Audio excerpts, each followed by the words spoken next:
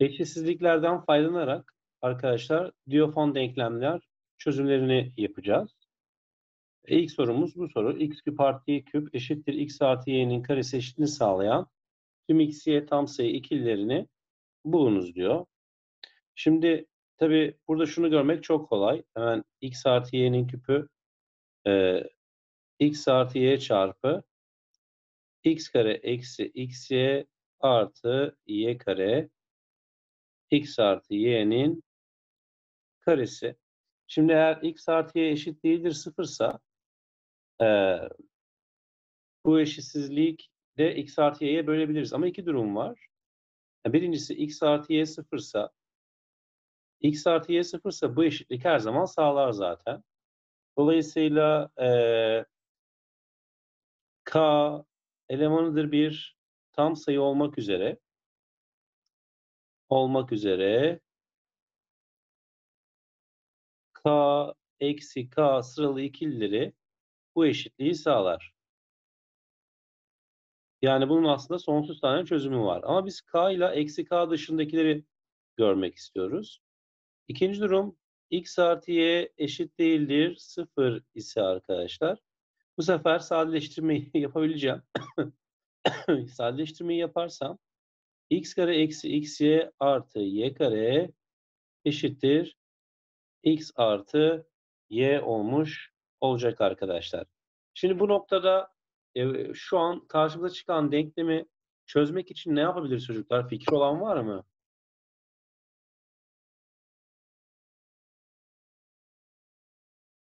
Yani bu en son, şimdi kutu için alıyorum ifadeyi. Bu kutu için aldığımız ifadeyi güzel hale getirmek için neler yapabiliriz?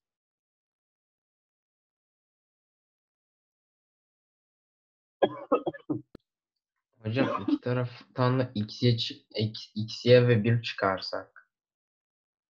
Hmm. İki taraftan da x'ye çıkarsak ve 1 çıkarsak ne olur bu ifade?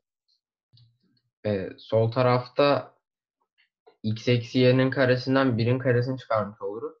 Sol tarafta da sanırım 1 eksi x çarpı 1 eksi y o, yok hocam. E, 1 eksi x çarpı y eksi 1 oluyor sanırım sol taraf. Ay sağ Hmm. taraf.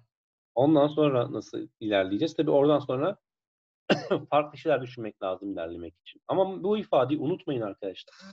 Bu ifadeyle karşılaştığınızda hmm, bu ifadeyle karşılaştığınızda şöyle farklı renkli bir kalem alayım.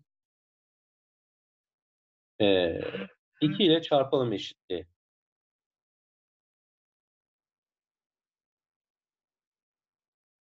İki ile çarpalım.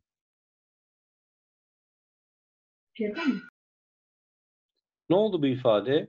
2x kare eksi 2xy eee artı 2y kare 2x artı 2y oldu. Bu, bu bunun bize nasıl bir faydası olur? Görebilen var mı?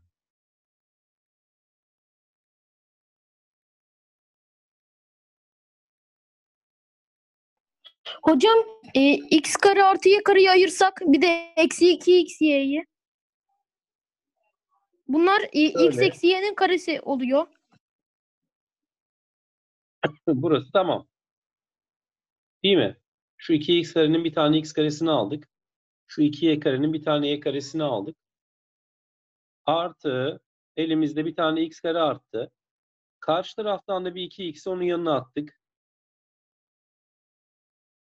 Artı bir tane y kare kalmıştı. Karşı taraftan da bir 2y buraya attık. Eşittir 0 oldu. Şimdi ne yapacağımız çok bariz değil mi? Eşitliğin iki tarafına da 2 ekleyeceğiz arkadaşlar. Eşitliğin iki tarafına da 2 ekleyince karşımıza şöyle bir ifade çıkacak.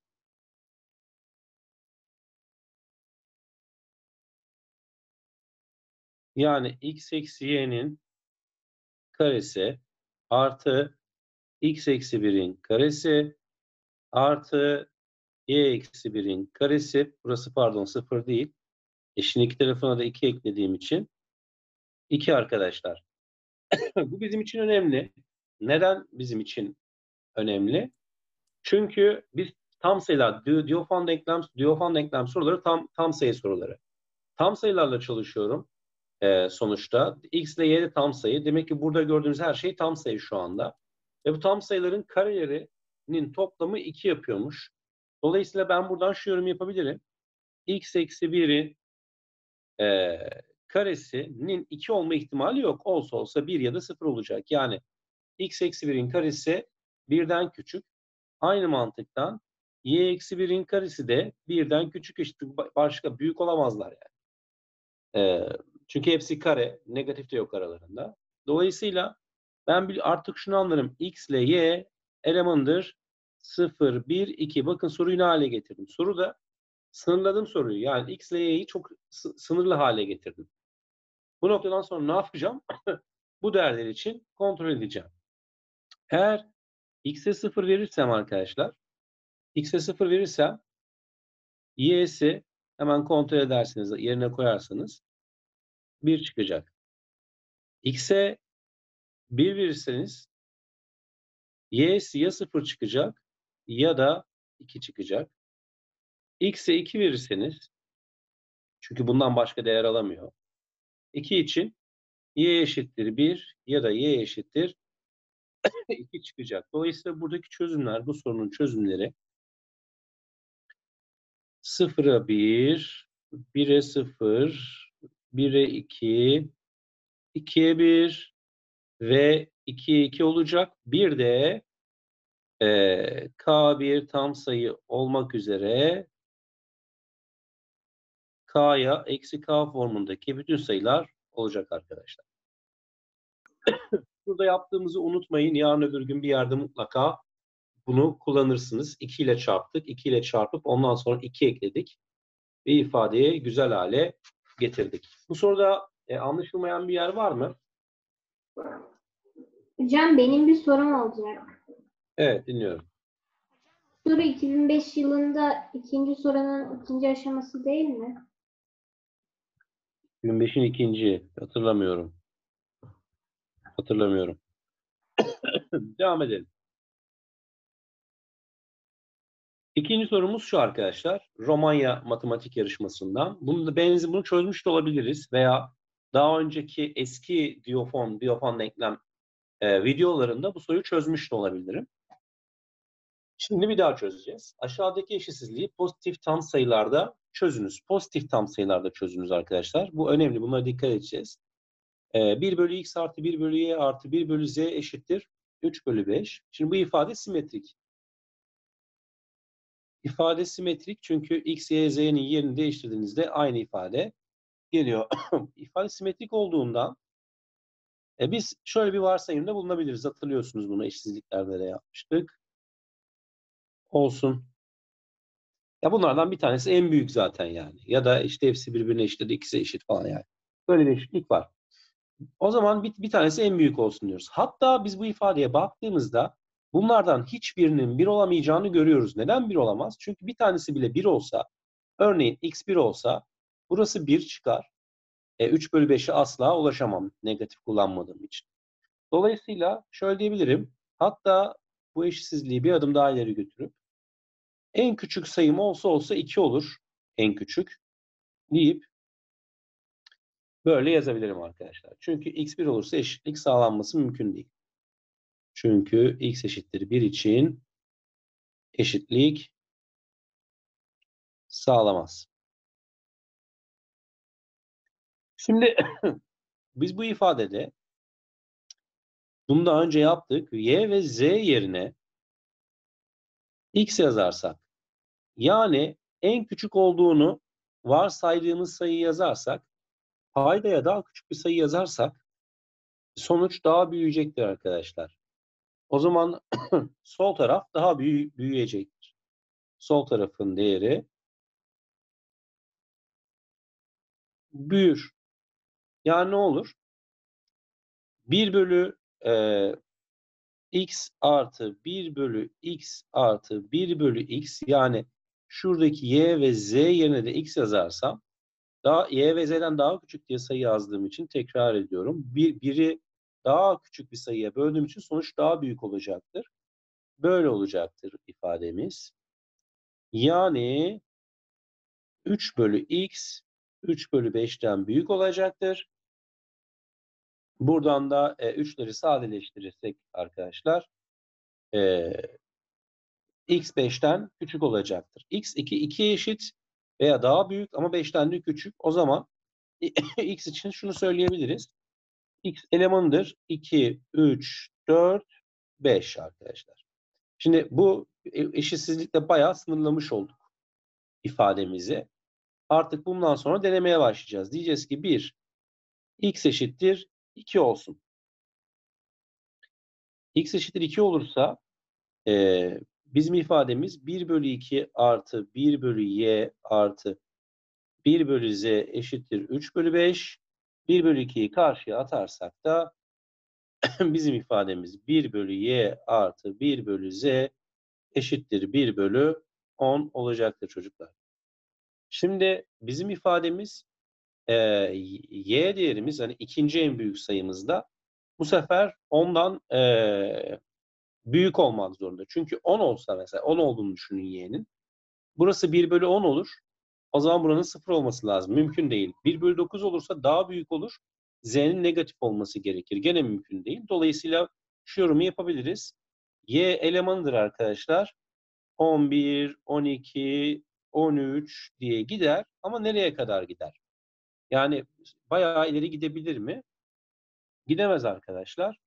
Ee, y 20, 20'yi geçerse e, 20'den büyük değerler alırsa bu sefer de e, sağ taraf daha büyük olmuş olur. Neden? Çünkü ikisi de 20 olsa düşünün ikisi de 20 olsa zaten 1 bölü 10 yapıyor. İkisi de 20'den küçük olursa 1 bölü 10'a ulaşma şansım yok.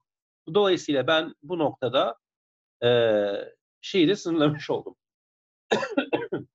Üst sınırını da koymuş oldum. İkisi de 20 olsa olur ama onun dışında da olmaz diyerek sınırlamış oldum. Diğer yandan elimdeki eşitsiz eşitliği 1 bölü y artı 1 bölü z eşittir 1 bölü 10'u iç, e, payda eşitleyip sonra içler dışlar çarpımı yaparsam 10y artı 10z eşittir yz olacak. Buradan e, şey yapalım. E, 10y eşittir yz eksi 10z z parantezine alalım ve y eksi 10'u karşıya bölü diye atalım. Eşittir z. Bunu da biliyorsunuz bolca daha önce yaptığımız için e, z eşittir 10 artı 100 diye yazalım arkadaşlar. Sonuçta z bir tam sayı olduğu için e, y eksi 10 denen sayının yukarıdan devam ediyorum çocuklar. y eksi 10 denen sayının 100'ü bölmesi gerekiyor. Ve y'lerimiz de burada. Bu değerler arasında olan sayılardan 10 çıkarttığımda 100'ü bölen sayıları arıyorum. Yani ne olabilir? Y 11 olabilir. Y 12 olabilir. Y 14 olabilir. 15 olabilir. Bir de 20 olabilir. Bunlar için de arkadaşlar y yerine 11'i koyunca mesela burada 11 koysak z ne çıkacak? 110. Hemen yazayım şöyle. z eşittir 110 çıkacak arkadaşlar. y'yi 12 alırsak hesaplarsınız siz 60 çıkıyor. 35 çıkıyor. Böyle alırsak 30 çıkıyor. Böyle alırsak da Z 20 çıkıyor arkadaşlar. Buradan da bizim e, çözümlerimiz diye şöyle bir şey yazayım. Çünkü sığdırmaya çalışıyorum. Siz daha rahat geniş geniş defterinize yazarsınız. E, X 2 iken bakıyorduk. Y 11, Z 110 bir çözüm. X 2 iken bakıyorduk. 12'ye 60 başka bir çözüm. 2, 14'e 35 başka bir çözüm. 2, 15'e 30 başka bir çözüm. 2, 20'ye 20 başka bir çözüm. Buradan yani x'in 2 olduğu durumdan 5 tane çözüm geldi. Şimdi ikinci kısmımıza bakıyoruz. x bu sefer 3 olsun arkadaşlar.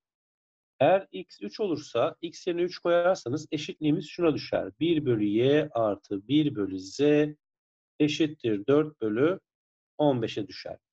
Şimdi burada y'nin değerlerine bakmaya kalkarsak arkadaşlar mesela y'ye 1, 3 versek 1 bölü 3 ee, ve 1 bölü 3'ten daha küçük değerleri topladığımızda 4 bölü 15'ten daha büyük değerlere ulaşmış oluruz.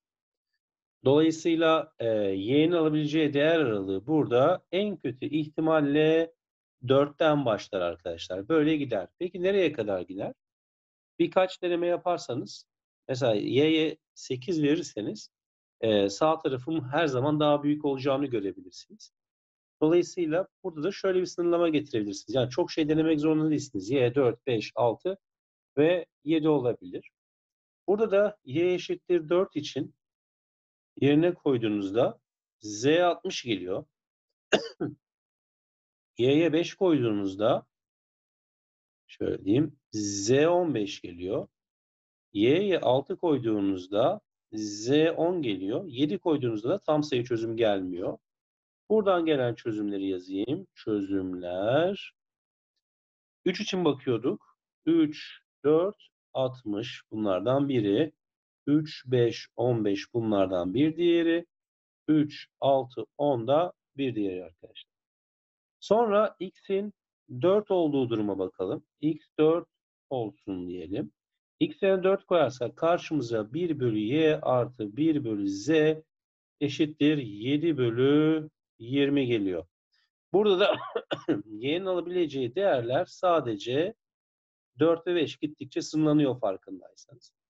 4 verirsek zaten e, 4 verirsek 7 bölü 20'ye asla ulaşamıyoruz.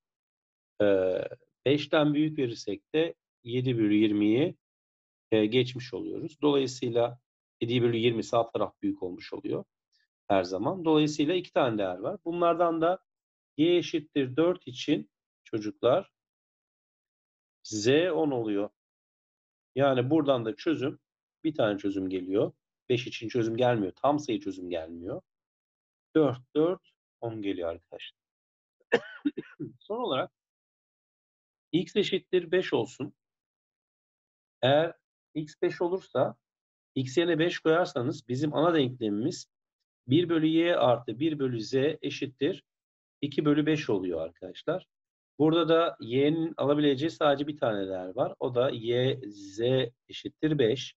Yani buradaki çözümde 5 iken 5 ve 5. Evet bu şekilde e, değişkenlerin üst sınırlarını belirleyerek arkadaşlar soruları çözüyoruz. Anlaşılmayan bir yer var mı bu soruda?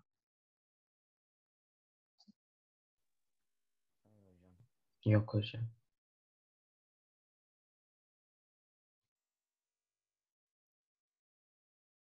Evet, an, sorunuz yoksa devam ediyorum çocuklar.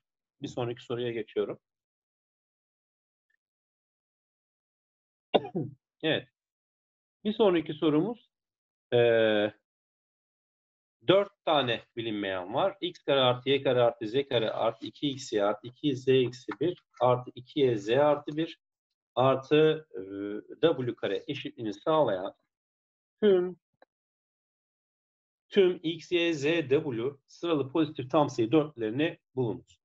Şimdi bu ifadeye baktığınızda e, x kare artı y kare artı z kare artı 2x'yi görünce zaten e, sanki böyle bir üç terimlinin açılımıymış gibi başlıyor öyle değil mi? Hani şöyle olur ya x artı y artı z'nin karesinin açılımı gibi başlıyor. Ama sonrasında bir şurada z eksi 1 var, bir de burada z artı 1 var. İşte bu size bir ipucu verebilir. Mesela şöyle düşünelim. Pardon. Ee, bu ifade şurada z eksi 1 kullanmış. Burada da z eksi 1 kullansaydı ne olurdu?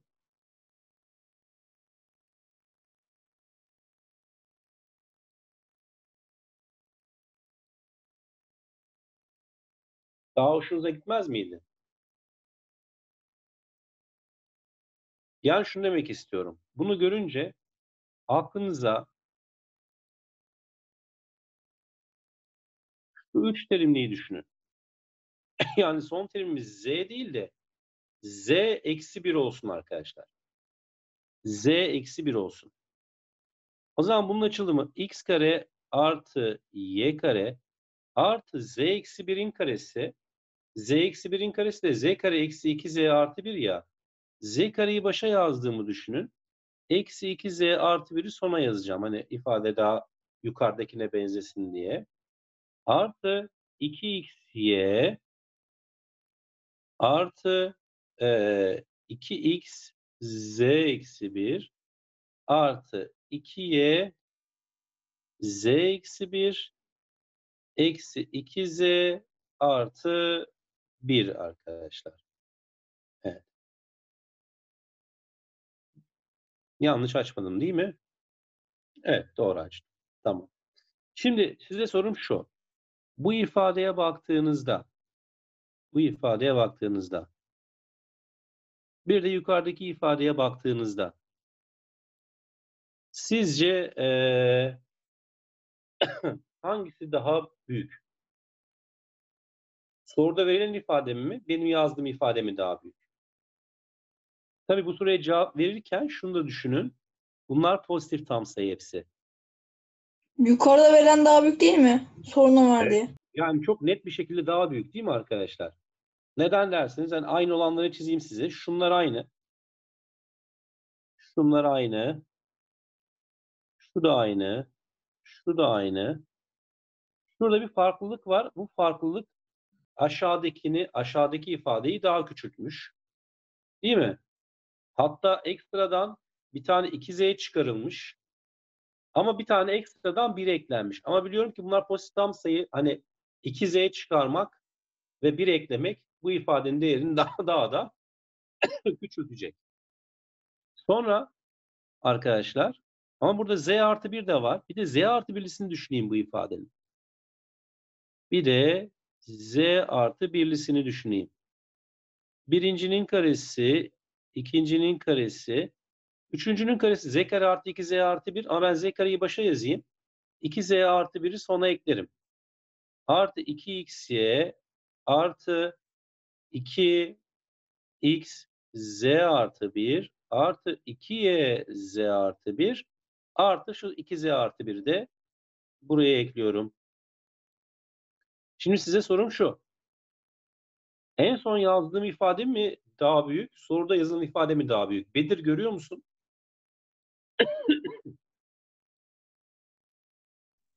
Bedir Hocam buradayım da. Ha. hangisi daha büyük? E alttaki galiba emin değilim. Şu alttaki yazdığım daha büyük. Neden daha büyük? Hemen şöyle turuncuyla gösteriyorum.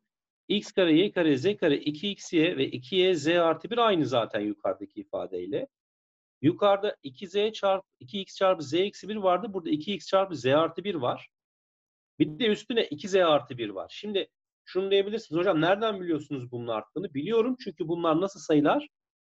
Pozitif sayılar. Önceki derslerle Bedir bir şey söylemişti. Hatırlıyor musun Bedir? Bir soruyu bir yere sıkıştırmaya çalışmıştın. Hatırladın mı bilmiyorum. Orada ben de hani demiştim sana pozitif mi negatif mi olduğunu biliyor musun? Hani orası azalıyor mu, ikisinin arasında sıkışıyor mu gibi. Evet Burada hocam, artık eminim. Burada artık eminim. Neden eminim? Benim yazdığım şu ifade W kareden küçük, yazdığım bu ifade ise W kareden büyük arkadaşlar. Onu güzelce yazalım. Yani x artı y artı z eksi 1'in karesi W kareden küçük x artı y artı z artı 1 de w kareden büyük. Ama w karede bir tam sayı arkadaşlar. E sonuçta bu da tam sayı.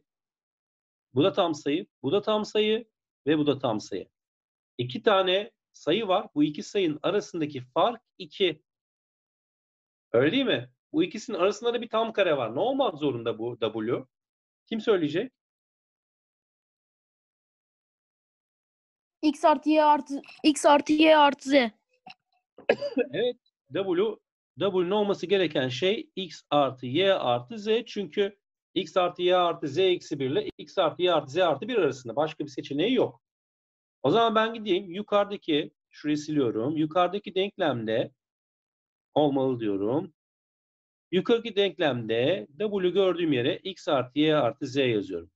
x kare artı y kare artı z kare artı 2xy artı 2x z eksi 1 artı 2y z artı 1 eşittir x artı y artı z'nin karesine yani x kare artı y kare artı z kare artı 2xy artı 2yz artı 2xz.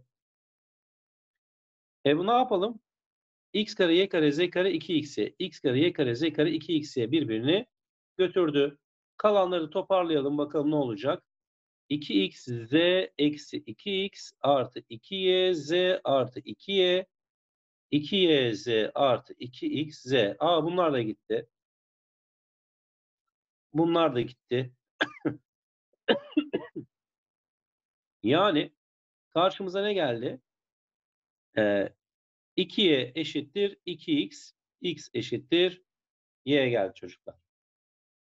Yani x ile y birbirine eşitmiş bu soruda. Peki e, o zaman bunun çözümü ne? Şöyle diyorum arkadaşlar. Eğer x ile y birbirine eşitse onlara m diyeyim. m olsun onlar. m bir tam sayı. Peki z ne? z'yi bilmiyorum. z de ne olsun? Z onlarla aynı da olabilir, farklı da olabilir. Yani Z hakkında bir fikrim yok. Ama biliyorum ki W demek X artı Y artı Z demek. Yani 2M artı N demek. He, o zaman artık büyük bir genelleme yapıyorum şu anda. Çocuklar M ile N birer pozitif tam sayı olmak üzere M, M, N, 2M artı N sıralı dörtlerin hepsi bunu sağlar. Örnek veriyorum. M'yi 1 seçin, N'yi 2 seçin. 1, 1, 2, 4 bunu sağlar. M'yi 3 seçin, N'yi 5 seçin. 3, 3, 5, 11 bunu sağlar. Bunu sağlayan sonsuz tane değer vardır. Ve sağlama formatı da arkadaşlar budur. Bu soruda ne yaptık? Bize verilen ifadeyi iki tane tam karenin arasına sıkıştırdık arkadaşlar. Var mı sorunuz?